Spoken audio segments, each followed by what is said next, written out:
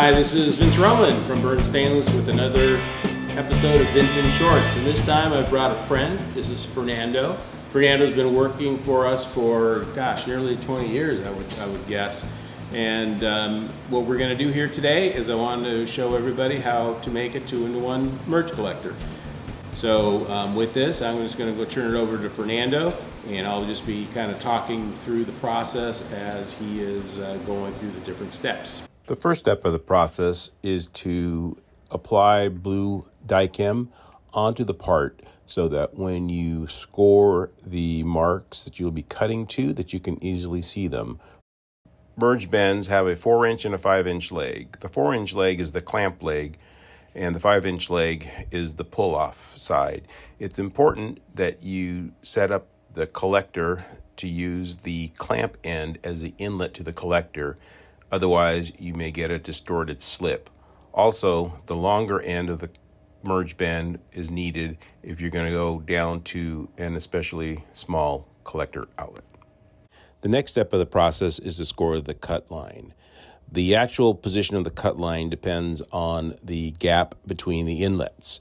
In this case, we are going to set up this collector with a eighth inch gap between the tubes because once the inlets are expanded with the 65 thousandths material, the inlets will just be barely touching each other. Um, the reason we use a hundred thousandths versus a uh, sixteenth wedge is because there is shrinkage that occurs when you weld the collectors together. After scoring the line, Fernando is taking the collector tube over to the vertical bandsaw in order to make the initial cut. As you can see, he first puts in a couple of starter cuts at the beginning of the line and then runs the tube all the way through the bandsaw. This is a very dangerous step, probably the most dangerous in this process, so please be careful. And you will notice that Fernando does not cut exactly on the score line. Uh, Fernando will now cuts all the way to the score line that we did earlier. On the grinding wheel, so it's really important at this step to, is to grind all the way up to the line, but also after you've taken the two bends and cut them, that you actually set them up so that there is no gap between the lines. Next step is to deburr the cuts and again just make clear the debris in order to get a nice clean weld. Next step of course is welding. So the welders will take the two tubes and we'll fit them together. He actually uses a shim to keep the bottom of the collector separated and then takes a piece of tubing, or in this case, he's using a flange in order to close the gap on the collector in order to get it tacked up. It's usually best to get the top tacked up first and then place a few tacks down um, each side of the collector. After the collector has been tacked, it's time to do the welding. One of the most critical points in welding a collector is going to be to use a good back purge.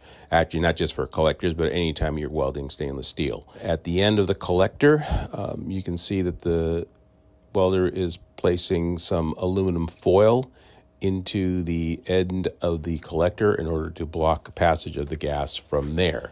Um, you can see the apparatus that we use, uh, just a couple of silicone plugs, one with a hole in it, one with a hole with a hose that goes through that carries the purge gas. Um, and then he will take the TIG torch and run the welds on both sides of the collectors. The next step is to cut the collector for the inlet and the outlet. On the outlet, you'll see what Fernando is doing is taking a piece of tubing and placing it down the end of the collector. Um, in this case, we are wanting to make this a three inch outlet tube. So that's a three inch tube. He sets it down and he places a mark with his Sharpie at that location.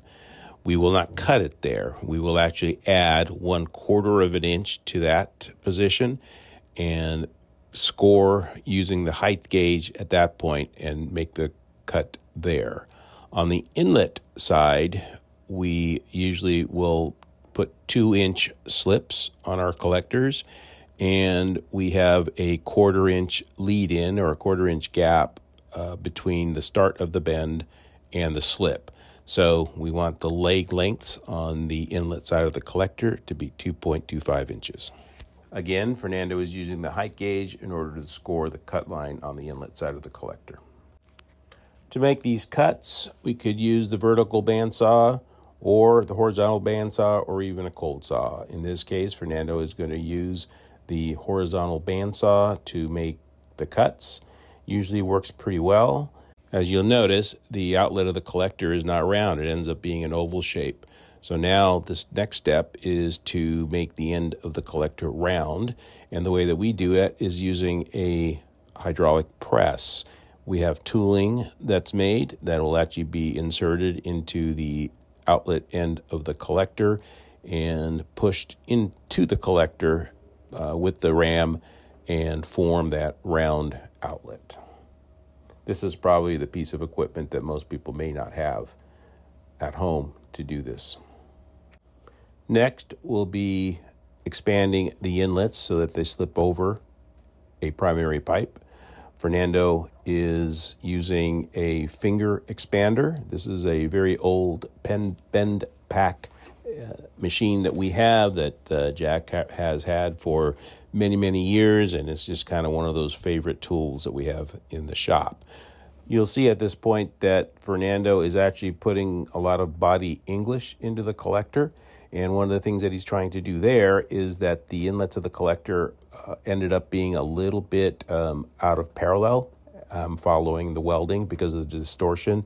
So in at this point here, you can actually um, by cleverly moving the collector and manipulating the expander, you can actually get those to come out parallel. You'll see that Fernando has a sample tube that he is using to make sure that the inlet slips are properly sized. Now that the collector outlet is larger, Fernando can go back into the collector and do some final polishing. One of the hallmarks of a Burns merge collector is the polished inside. This is a two step process where Fernando will take a uh, standing drum. I believe it's a 36 grit sanding drum, and we'll go in and polish the collectors. Uh, we want to go in there and we want to give a nice even polish all the way through the collector. We want to make sure that the seams in between the bends are very crisp and clean. And then following that process, you will go back through with a finer uh, flap wheel and just put a nice finish on the inside of the collector. And then he'll take it over to the uh, belt sander and make sure that the edges are deburred and everything is clean before the next step. You can see that Fernando is here using the flap wheel in order just to blend the inside uh, grind marks and end up with a nice beautiful collector inside. Now is time to fine tune the collector. Uh, Fernando has taken a piece of a three inch tubing and is looking at the outlet of the collector, making sure that it's a nice even fit.